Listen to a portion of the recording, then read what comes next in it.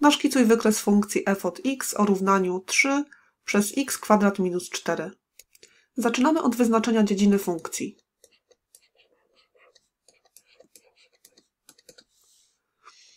Musimy zrobić założenie, że mianownik nie może być zerem, czyli wyrażenie x kwadrat minus 4 ma być różne od zera. Mamy tutaj wzór skróconego mnożenia a kwadrat minus b kwadrat. Zamieńmy to na iloczyn dwóch e, nawiasów, czyli mamy a minus b razy a plus b. W naszym wypadku dostaniemy x minus 2 razy x plus 2 ma być różne od zera. Rozwiązujemy to tak, jakby to był zwykły znak równa się, tylko będziemy go za każdym razem przekreślać. Czyli zastanawiamy się, kiedy iloczyn dwóch liczb da 0. Oczywiście wtedy, gdy przynajmniej jedna z nich jest zerem, czyli wyrażenie x minus 2 jest zerem, znak równa się przekreślamy, lub wyrażenie x plus 2 jest zerem. Przekreślamy znak równa się. Rozwiązujmy, rozwiążmy to równanie, czyli dostaniemy x różny od dwójki, a tu mamy x różny od minus dwójki. Czyli dziedziną naszej funkcji jest zbiór xów należących do zbioru liczb rzeczywistych z wykluczeniem minus dwójki i dwójki. W drugim etapie szukamy punktów przecięcia z osią OX i z osią OY. Zaczniemy od osi OX, czyli poszukamy miejsc zerowych funkcji f. Dla wszystkich punktów leżących na osi OX druga współrzędna wynosi 0, czyli f od x wynosi 0. Podstawmy więc do tego równania wzór na f od x. W naszym wypadku jest to 3 przez x kwadrat minus 4 jest równe 0. Zastanówmy się, kiedy ułamek będzie równy 0. Oczywiście wtedy, gdy jego licznik jest zerem. Natomiast tu dostaniemy 3 równe 0. Oczywiście jest to sprzeczność, co oznacza, że nasz y, wykres funkcji f od x nie ma punktów przecięcia z osią o x, czyli nie ma ta funkcja miejsc zerowych. Teraz wyznaczmy jeszcze punkt przecięcia wykresu z osią OY. Na osi OY y, pierwsza współrzędna xowa wynosi 0 dla wszystkich punktów, czyli za x wstawiamy 0, czyli policzmy f od 0. Dostaniemy 3 przez 0 do kwadratu minus 4, czyli mamy minus 3 czwarte. Więc punkt przecięcia z osią OY ma współrzędne 0, minus 3 czwarte.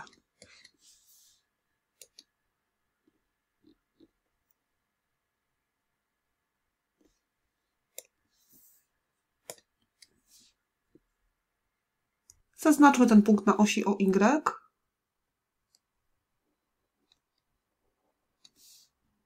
W trzecim etapie wyznaczamy asymptoty, o ile istnieją. Zacznijmy od asymptot pionowych. Asymptoty y, pionowe y, jest sens badać tylko w miejscach, które nie należą do dziedziny funkcji. Ponieważ tutaj takie miejsca posiadamy, w minus, minus dwójka i dwójka nie należą do dziedziny funkcji, to możemy zbadać, czy yy, prosta o równaniu x równe minus 2 i x równe 2 y, jest asymptotą yy, pionową.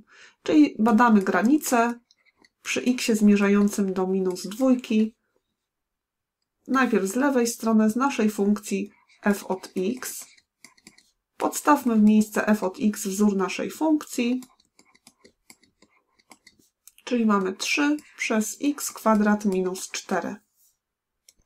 Podstawmy teraz pod x minus 2, czyli dostaniemy 3 przez minus 2 do kwadratu, to jest 4, minus 4 mamy tutaj 0.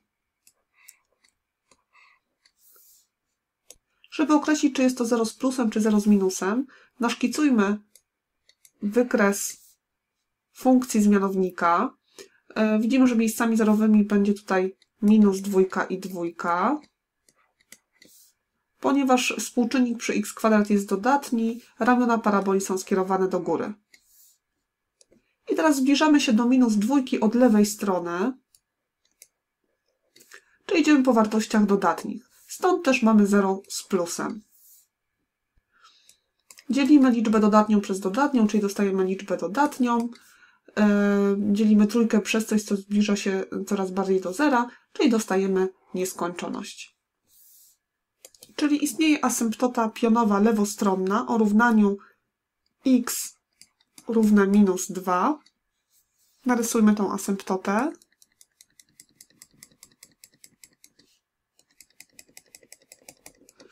I zbliżając się do tej asymptoty od lewej strony, wartości funkcji uciekają do nieskończoności. Czyli idąc od lewej strony do minus dwójki, wartości idą nam do plus nieskończoności.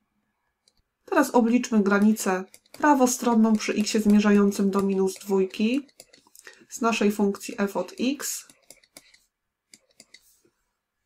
Czyli mamy granica przy x zmierzającym do minus dwójki z prawej strony z funkcji 3 przez x minus 4, co nam daje 3 przez 0. I tym razem zbliżamy się do minus dwójki od prawej strony, czyli poruszamy się po wartościach dodatnich, yy, ujemnych, przepraszam. Czyli mamy tutaj 0 z minusem. Stąd też otrzymamy liczbę dodatnia przez liczbę ujemną, daje nam liczbę ujemną, czyli minus nieskończoność. Czyli prosta o równaniu x równa się minus 2 jest również, jest również asymptotą prawostronną, pionową. Przy czym widzimy, że teraz zbliżając się do minus dwójki od prawej strony, wartości uciekają nam do minus nieskończoności. Teraz zbadajmy, czy istnieje asymptota pionowa w dwójce, czyli obliczamy granicę przy x zmierzającym do dwójki z lewej strony z funkcji f od x, czyli mamy 3 przez x kwadrat minus 4. Również w mianowniku wychodzi nam 0, czyli mamy 3 przez 0. I teraz zbliżamy się do, yy, do dwójki od lewej strony, czyli poruszamy się po wartościach ujemnych, czyli mamy 0 z minusem, czyli otrzymujemy minus nieskończoność. Czyli również w dwójce mamy asymptotę pionową lewostronną o równaniu x równa się 2. Naszkicujmy tą asymptotę. I zbliżając się do tej asymptoty od lewej strony, wartości uciekają nam do minus nieskończoności. Czyli mamy w ten sposób. I jeszcze dla formalności policzmy granicę przy x zmierzającym do dwójki z prawej strony. Znowu otrzymamy 3 przez 0. Tym razem zbliżamy się do dwójki od prawej strony, czyli idziemy po wartościach dodatnich, czyli jest 0 z plusem, co nam daje plus nieskończoność. Czyli teraz idąc do dwójki od prawej strony, wartości funkcji uciekają nam do plus nieskończoności. Mamy więc dwie asymptoty pionowe obustronne o równaniach x równa się minus 2 oraz x równa się 2. Teraz zbadajmy, czy istnieją asymptoty poziome, czyli y, sprawdźmy, w jaki sposób zachowuje się funkcja w plus nieskończoności i w minus nieskończoności. Czyli liczymy granicę przy x zmierzającym do nieskończoności z naszej funkcji 3 przez x kwadrat minus 4. Możemy podstawić pod x nieskończoność, czyli mamy 3 przez nieskończoność. To oczywiście zmierza nam do zera. I podobnie obliczmy granicę przy x zmierzającym do nieskończoności do minus nieskończoności z naszej funkcji 3 przez x kwadrat minus 4, to również będzie nam zmierzało do zera. Czyli istnieje asymptota pozioma zarówno w plus nieskończoności, jak i w minus nieskończoności i jest to prosta o równaniu y równa się 0. Czyli zarówno w plus nieskończoności, jak i w minus nieskończoności e, wartości funkcji zbliżają się do zera, ponieważ nasza funkcja nie miała miejsc zerowych, to nasza, y, nasza krzywa nie może nam przeciąć osi, y, osi xów, więc możemy za, na, narysować ten wykres następująco. To nam ucieka do zera z wartościami i tutaj też nasza funkcja w minus nieskończoności ucieka z wartościami do zera. I zostało nam już tylko wyznaczenie ekstremów oraz yy, monotoniczności naszej funkcji. Czyli musimy policzyć pochodną naszej funkcji f od x. Wykorzystamy następujący wzór, czyli najpierw mamy pochodną tego, co znajduje się w liczniku, czyli pochodną trójki. Mnożymy przez to, co znajduje się w mianowniku. Następnie mamy to, co jest w liczniku i mnożymy przez pochodną mianownika. A następnie w mianowniku mamy to, co było w mianowniku do kwadratu czyli f' od x wynosi. Pochodna ze stałe to jest 0, więc cała pierwsza, y, pierwsza część nam się upraszcza. Tutaj mamy minus 3 razy pochodna y, nawiasu, czyli mam pochodna z x do drugiej to jest 2x, a pochodna ze stałe to jest 0, więc z całego nawiasu zostaje nam tylko 2x. Mianownik możemy przepisać. I jeszcze to uprośćmy, czyli mamy minus 6x przez x kwadrat minus 4 do kwadratu. Warunkiem koniecznym na istnienie ekstremum jest to, aby pochodna była równa 0, więc przyrównajmy naszą pochodną do zera. Dostaniemy minus 6x przez x kwadrat minus 4 do kwadratu będzie równe 0.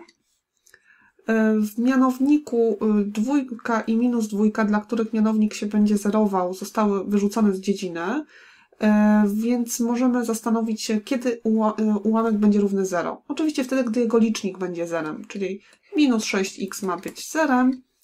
Podzielmy obustronnie przez minus 6, czyli nasz x ma wynosić 0. Czyli miejsce podejrzane o ekstremum to jest x równy 0.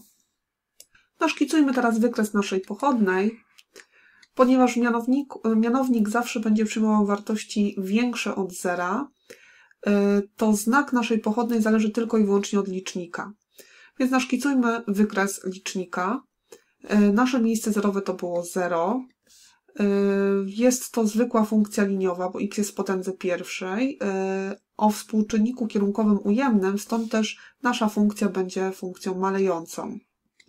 Teraz na podstawie e, wykresu naszkicujmy tabelkę. W pierwszym wierszu mamy x, w drugim f' od x i w trzecim f od x. Nasza oś została podzielona na dwa przedziały. Przedział od minus nieskończoności do zera przy czym pamiętamy, że z tego przedziału jeszcze y, wyrzucona jest minus dwójka. Teraz mamy 0.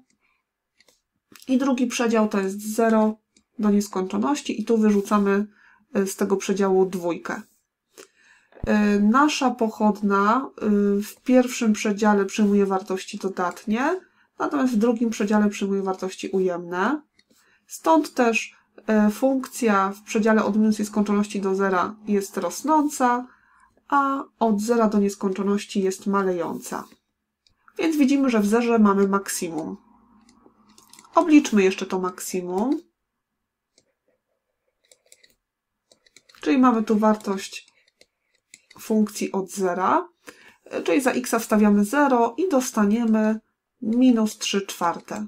Ten punkt już mamy zaznaczony, Czyli nasza funkcja ma ekstremum lokalne w punkcie 0 minus 3 czwarte.